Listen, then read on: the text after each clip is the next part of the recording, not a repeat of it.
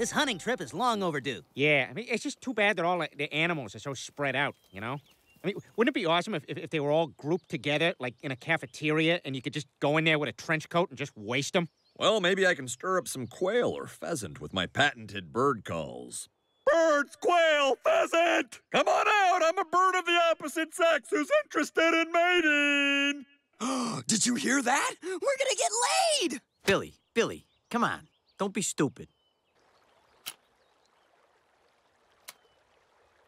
Should have taken the shot, fat ass.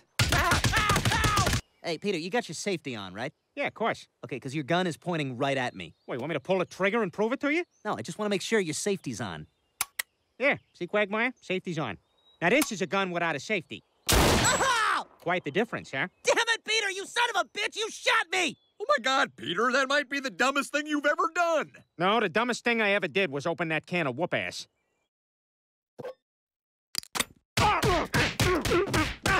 Lois, why did you buy this? It was on sale.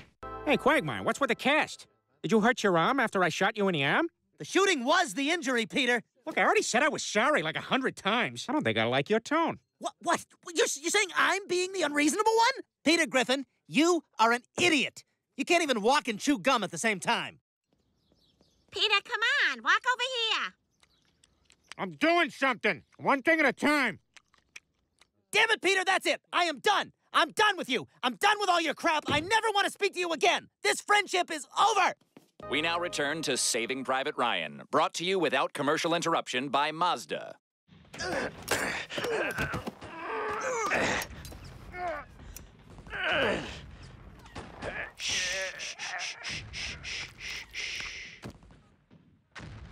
Zoom, zoom. Hey, Jerome, can you clear out my booth? Looks like somebody left their trash here. Jerome, can you tell that to get the hell out of here before I kick him in the face? Peter, why don't you just sit in that booth over there? Oh, man, that's where the after work secretaries sit. What about Mr. Demerson? Is he single? I, I, I don't know. What about Mr. Adelaide? Is he single? I don't know who that is. Well, who do you know who is single? Uh, I'm assuming you? Oh, oh, hey, look, cake!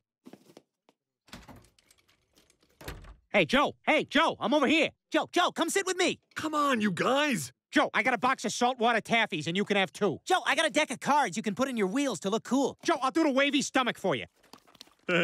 Looks like a real wave. Joe, I can scream your name real loud. Joe! Joe! Joe! Joe! I can yell it louder. Joe! Joe! Joe! Joe! Joe! Joe! Joe! Joe! What the hell is going on here? I'm in there trying to take a leak. What, you think I'm here to amuse you? You made me dribble on my Bruno Magli's turning to see who's calling my name. Joe Pesci thought we were talking to him because his name is Joe. Oh, you don't know who Joe Pesci is because you're 14.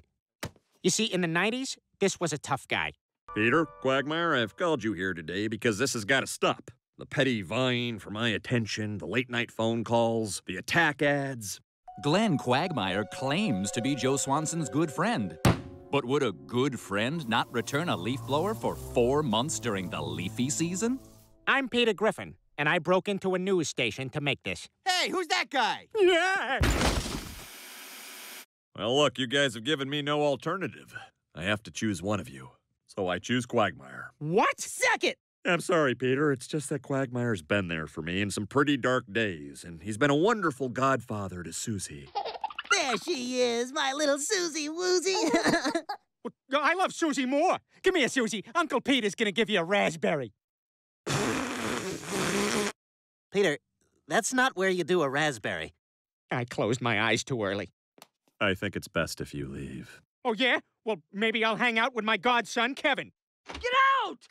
He was masturbating with a knife. Well, looks like it's just you and me, Shadow. Shadow! All right, Quagmire, I have given this a lot of thought. I need you to shoot me in the arm so we can be friends again.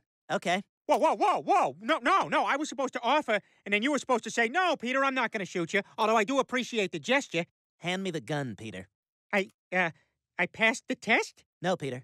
I'm gonna shoot you like a dirty animal. But just the fact that I would make the offer is so meaningful to you. Your offer means nothing, Peter. The only thing that means anything to me is a bullet in your arm. Now give me that. Stop, stop, Come on. Quagmire! You're not let- leaving let here without being Look, I was trying to do the I'm putting decent that thing. bullet in your arm, Peter. Ah, son of a bitch! It's over. We're all friends again. What the hell, Joe? I'm just trying to settle this nonsense. Nothing got settled. You shot him. I'm the one who has to shoot him. Wait, wait a second. All right, then I get to shoot Joe. All right, he shot me. I mean, if we're doing things fair here, then... Peter, I'm so glad you patched things up with your friends. Have I told you that we're all friends again? Yes, Peter, we were just talking about it. You're gonna take me to the zoo and roll me around. Know, we're all friends again.